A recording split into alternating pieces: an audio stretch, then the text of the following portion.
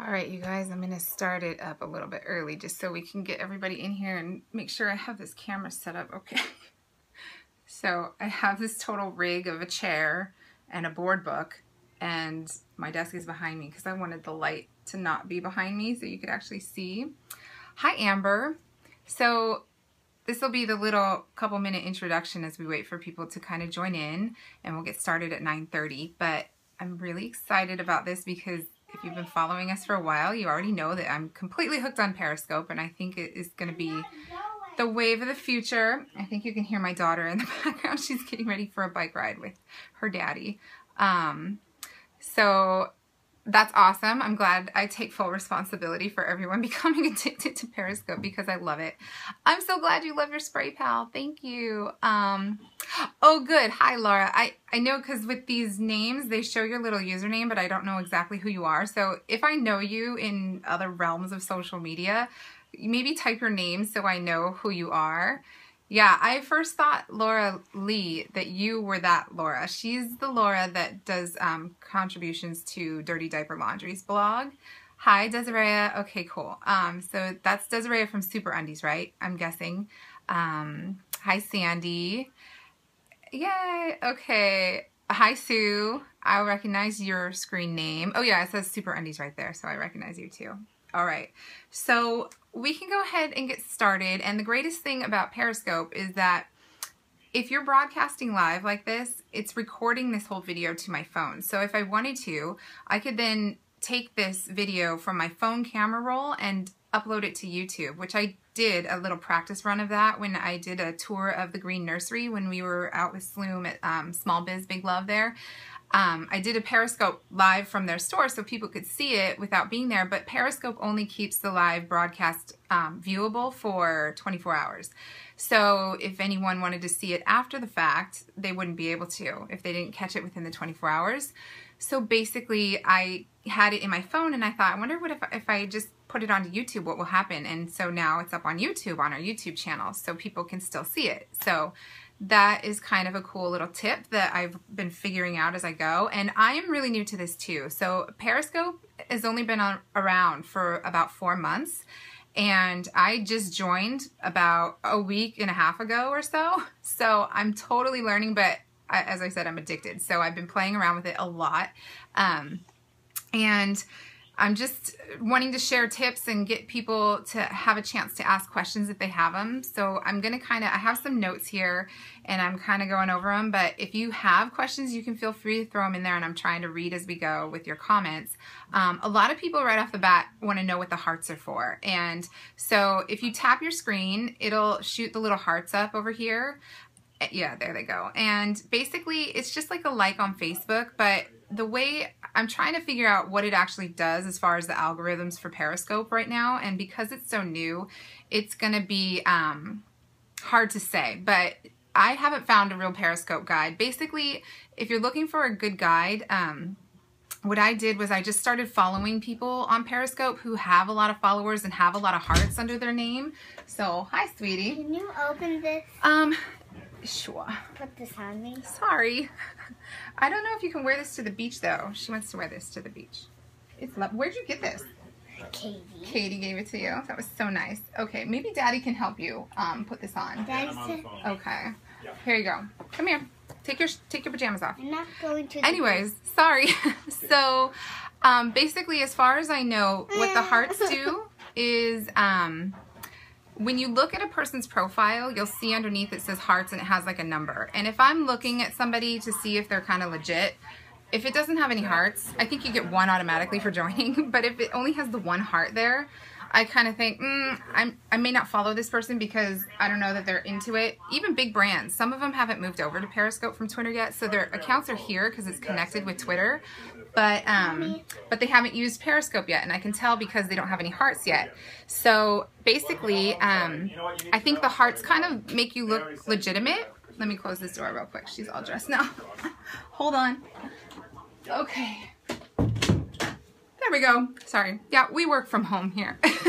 so, um, so basically the hearts kind of boost you up in that way as, as far as making your account look like you're using it and you're active and you're legitimate. But they also, um, from what I have understood from other people speaking about it, is that you know when you go in the home page and you're searching around and you're not broadcasting, but you're just kind of lurking and stalking people, stalking. Um, basically, if you click on one of those numbers on the map to see somebody's live broadcast and you're scrolling through, I think that the more hearts you have can boost you up higher into that search. Um, so I don't know if that makes a difference or not, but basically it's just kind of a cool way to say, yay, I like what you're saying. And it's like a Facebook like, and you can give up to 500 per uh, time you enter a session. So you can just keep tapping while you're watching if you want to, and that kind of legitimizes our brand as a legit brand to follow on Periscope. But um, it's totally up to you. It's just kind of a fun thing, I guess. So, okay, other people have heard that too. So that would be great. If you guys want to tap away, awesome. We love it because then, you know, as we start talking more about cloth diapers and doing tutorials and things like that, we can um, be seen by more people and that will make cloth mainstream. So that's awesome. I love the heart explosion. Thank you. so, um, another thing I was going to say, a lot of people are wondering, well, how will I use this as a brand? And that's kind of, obviously, since this is so new, it's in exploration territory right now, but I could see a lot of great use, especially with cloth diapering brands, as far as giving quick tutorials and having people tune in and watch and see, oh, speaking of this, we can also share it too. So I showed this in another Periscope, but I'll show it again because I know a lot of you guys are new and just learning how to use it probably hear the trash truck going in my backyard right now because the window's open. Sorry about that. Um, but to share this, so if you wanted to share with your followers that this was going on and that you want them to watch, you just, you see the little number down here with the little head by it. If you have your chat box open, you might not see it. So you can just click the lower X on the chat box to close that and then tap the head right there and you'll see a list of the people that are watching. And if you click on the share button, you can click to share it. It'll share it out on Twitter. It'll share it out on Facebook or however you want. You can copy the link. Awesome. If you share with your followers, then they get that little tweet notification that says, um, like, it'll say APT to wander or apt to wander uh, wants you to watch this video and then they get a little notification even though they don't follow me they will get notified that this video is live right now and they can come and watch it. So it's kind of a good way to spread out the word that this is going on. Um, that's a great question, Sarah. Uh, the connectivity depends. I'm I did this one for sure at home because I wanted to be connected to my Wi-Fi and hope that it wouldn't be spotty. I know we done we've done a bunch when we're walking to Starbucks, and obviously the connection can be a little bit trickier there because we're using our data and not the Wi-Fi but um, I'm not having, I'm not noticing any issues on my end, but I do notice it when I'm watching other people that it'll say like poor connection, waiting to connect, things like that. So um, a lot of times if you wait and then watch it as a replay, I think it works out those issues and then you can watch it that way. Um, but yeah, I definitely think you're going to want to, when you're doing like a serious one, like this one, I really wanted to be able to connect with everyone and keep a good connection because we're going to be talking a lot and answering questions and I wanted to see your comments. So I think Wi-Fi is definitely key. Okay, good. I'm glad you guys are thinking it's doing fine. That's good. Um, do you guys have any other questions at this point or I, I will look at my notes and see what I was going to talk about next? Awesome. And you're in Tennessee. I'm coming out your way next week. We should try to meet up, Cotton Bottom. Um, we're going to be in Nashville Tuesday through Friday. Um, I it might be hard to keep up with the questions. It actually is hard even though it hasn't caught on quite yet because you're trying to keep your train of thought as you're speaking and then you have to kind of try to read um, as the, the questions are going. Desiree, you're in Nashville too? Oh, we should definitely do a meetup. Um, how to spray an all-in-one diaper with a spray pal. Yesterday I sprayed a one-handed sprayer. Uh, oh, I missed some of those comments. I missed the ones after that spray pal comment. Um, so yeah, you can do a lot of great stuff with Periscope for sure. And I think once it catches on, it might be harder. But I do know too, hi Melissa, I remember meeting you at ABC Kids last year. Um, I do know too that when you, um, oh gosh, see, I lost my train of thought. so I was going to say something about the, uh, uh, uh, what were we just talking about? Oh, flipping around the camera, yes, it definitely does. When you double tap to switch the camera direction, you want to pause and not talking. Um, if blocking people blocks me from seeing them or kicks them out, I believe it kicks them out and it deletes all their previous comments. So when I've blocked people and looked back in the replays, I can't read their nasty comments anymore. So definitely use the block feature. Um, yeah, I'm a fast talker. I try not to be, but especially with this, it's so hard not to lose your train of thought if you're not talking really fast. So, um, okay, let me check my notes. So I wanted to give you like a basic overview on where to start. So you guys already downloaded the app, obviously, so that's great. Um, I would recommend going through your list. It'll show you like recommended people to follow based on your Twitter people. Thank you. And, um, I would recommend going through and following some of your favorites because then they'll know that you're on Periscope now and they might follow you back. And also, if they're actively using it and you can tell by the hearts if they're using it or not, um, you can watch some of their Periscopes to kind of get a feel for what kind of things they're doing. And no problem, Sarah. You can watch later if you want to, if you need more tips. We're going to keep going. Um, have a great lunch. And so I, I recommend following some people and even people on Periscope. It'll give you some recommended like top or most favorite periscopers and I went through and looked at a couple that I thought might be up my alley. There's this one guy in London who has like a couple hundred thousand followers and like 50 million hearts on his page. And so I mean he he's kind of not my style but I totally go in and jump in on his broadcast because I just want to learn from him and see what he's doing. So I'd recommend doing that too. And that reminds me what I was going to say before when I lost my train of thought. Um, someone was asking if it would get complicated as there's too many people in the group to keep your thoughts straight and answer all the questions and stuff. And when I'm in his periscopes, this this really popular Periscope guy, um, I've noticed that if you don't jump in right away when he goes live, it will not give me the chat box option and it'll say broadcast too full. So I think that it limits how many people can actually comment so that it doesn't get so crazy and overwhelming.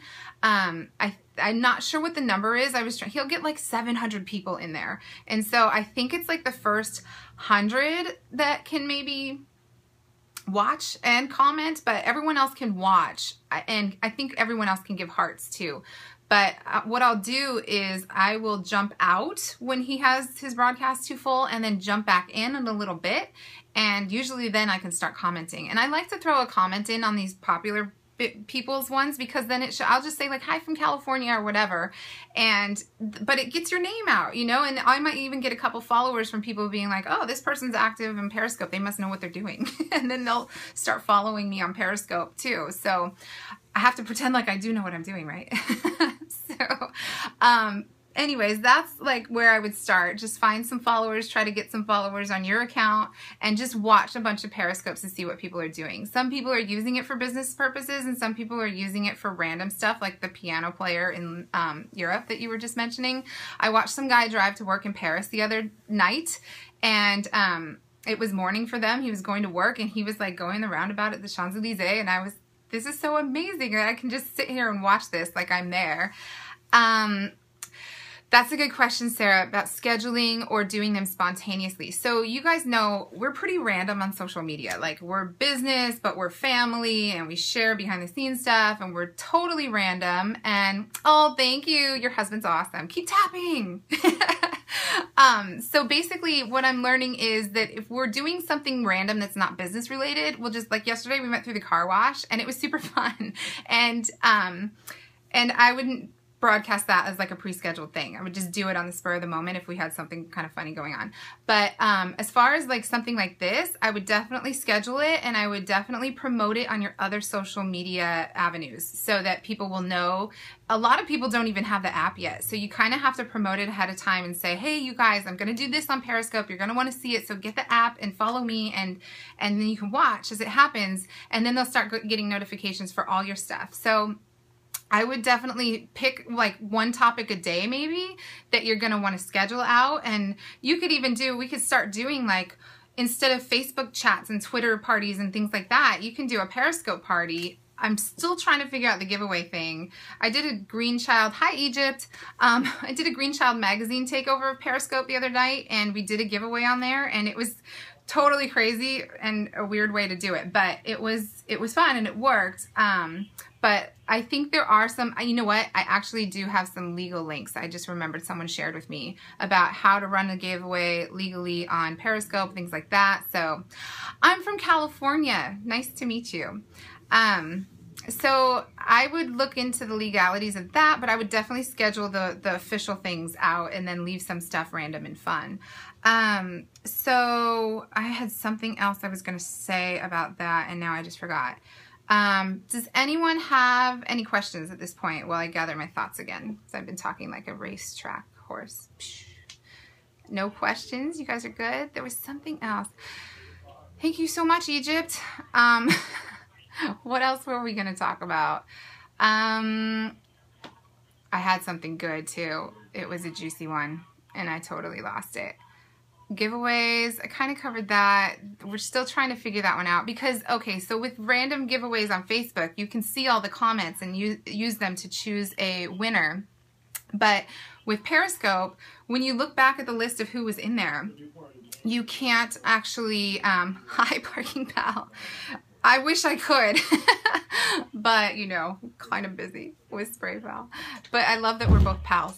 Um, Okay, my husband has a quick question. Go for it. For some reason, um, okay, the, the procedure is going to take twice as long. Okay. And the, now they have Newport. Yeah. All, all, all openings. So Okay. 8, 8.30, 9, Let's 8, do eight thirty. 8.30. Good. Yeah. Okay. Scheduling MRIs. Ah, crazy time. Okay.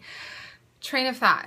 So, so the way I did it, because you can't see all the people on the list of who viewed to do a giveaway and pick a random winner that way, like for some reason it'll show you like the top 12 people in the list who viewed it and then it'll say and 25 more and you can't see who they are. So you can't really use that list as a random way to pick winners.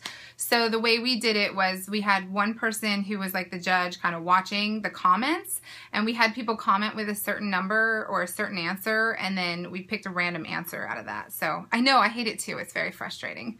I think that as periscope kind of evolves those kinds of things will change hopefully. So but it's very good to get in on the ground level. Like right now is the time because if you think about YouTube when it started, the people who started out with it, um, just they're huge now, right? And it if if we are on the breaking ground level of this thing and it blows up like I think it's going to, then we will be the ones that are like huge down the road when when this is like a thing of the past. It's like this is this is what everybody does now, you know.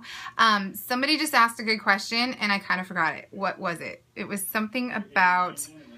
Um, so you just do something, and I can't even remember. Have you tried about? I have not tried Meerkat at all. I have heard about it, and I heard it's a similar thing to this, but I didn't try it. Um, this got me hooked because somebody else I knew was doing it, and they were talking about it at Alt Summit, and it was so easy to sign up because it was connected with Twitter. And oh, I remember what someone asked. They asked if I shared a link to this or if I just did anything when I broadcast. And you don't have to because I, even the very first time, like Dave and I were walking to Starbucks and um, yeah, there's no links to share. It, it, it's weird. I don't even actually know exactly how it works because the first time we did it, we were walking to Starbucks and I was telling him about it and I had kind of watched a couple people on it, but I'd never broadcast. I'm like, let's just try one and see. And we flipped the camera and turned it on and said, walking to Starbucks. That was our title. Don't forget to put a title. Oh, I have something else I want to say about location. Remind me if I forget that I want to talk about location. Um, so we were walking to Starbucks and we turned it on and we were all of a sudden broadcasting and I thought no one would watch because I was like, I didn't share this anywhere. I'm just testing it out. And all of a sudden all the little notifications popped up that all these people were in there and they were giving hearts and stuff. And I was like, how did this happen? We didn't say anything. Like, how did these people find us? And I was asking that out loud, you know, not really realizing that people were kind of hearing me like this. And people started typing in like, oh, you, um, I got a notification. My phone dinged. And then I bumped, I jumped in and here you were walking to Starbucks. And it was crazy. I guess it was somehow through Twitter and my Twitter followers got that. But, um, yeah, so I agree. Location, I mean, time of day is important. Just like all social medias, there's like certain times that seem to be better for everybody. And I do think that for businesses who are trying to do kind of professional stuff on Periscope, um, early morning, like this time of day, 9 30, 10 30 in the morning is good. Bye, have fun. Um, and maybe an afternoon. But as you get later into the night, you'll start to notice things kind of switching in the time zones. And like where I'm from, it'll be a lot of Hollywood stuff and stuff I just don't need to see. I do love like the Disneyland fireworks and World of Color. I'll pop in on those. I saw 311 concert. I saw like, it's kind of cool. You can see a bunch of Kenny Chesney was playing last night somewhere and I saw that. Um, but so yeah, I think there's going to be an evolution to figuring out when the best time of day for this kind of thing is. But I do think for a business, the best time is just like during normal business hours. Um, but then you have the time zones and everything to contend with too. So you kind of have to play around with it and see what works best. Um, and then I was going to say something about locations. So when you are broadcasting, um, you are going to want to it, it, will have an option like, oh, it did say, it had a little Twitter bird, and I think that's why it shares it to my Twitter. But then on the other side, it has like a little location icon, and you can leave that on or you can turn it off. The default, I think, is to have it on, which is fine for like when I was walking to Starbucks and I wasn't in my home. I didn't mind having it on, but now that I'm doing it from my home, I turned the location setting off because I don't really want people who are on the internet that I don't know um, knowing exactly where I'm broadcasting from. It's just for privacy and security and stuff like that. So um, use your discretion. I, I will say though, if you have the location setting turned on, it goes onto the map more easily and people might pop in just randomly so if you're trying to like broadcast to everyone, maybe go somewhere outside of your house, like a Starbucks or something, and and broadcast from there and use the location setting on because it doesn't matter for privacy reasons where you are, but it'll get more viewers to your your your Periscope. But like I said, if you're home, you already have your followers on Twitter and everyone that will get notified. Just leave the settings off because you don't need to be sharing that. Um, archive video URL to be shared Okay, so yes, if once this is done, you can click on share and there will be a copy URL option so that you can share the link outside of Periscope. But the people can only view that link which links back to Periscope if they have the Periscope app. So I've shared it a couple times on Facebook, but um, people have to have the app in order to view it. But it might encourage them to upload the app because they might want to see it. So, um, but yeah, that is one way to share it, but they have to have the app. But when you're, like I said this earlier and I'll say it again, when you're recording, like right now I'm recording this, it's saving this video to my phone as not a Periscope app. It won't have the little comments and the little hearts and all that stuff in it. It's just a regular video, but it will save to my phone and then you could upload it. So if you're doing a useful tutorial or a, a demo of your product, you can save that on your phone. It'll be saved on your phone automatically and then you can upload it to YouTube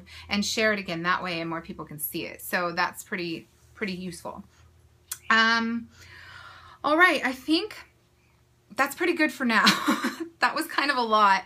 And I'm sure I'm going to be learning more as I go. And you can keep, if you want to follow me, and I will do more broadcasts like this to kind of help you guys out as we explore um, Periscope, go for it. I would love to have more followers joining in on these. And if you have any questions, um, you can leave them here for the next few seconds. Or also you can go back you can watch this for the next 24 hours and you can still give hearts and everything on a replay view um, but you can't leave comments. So um, that's just another thing for that. But you can leave me questions and comments on our Facebook page or on Twitter or on Instagram and then I can use those questions to address them in another broadcast. So yay! Thank you guys. There's my mom. Hi mom She's green. She gives me all the hearts. all right. Thank you. See you next time.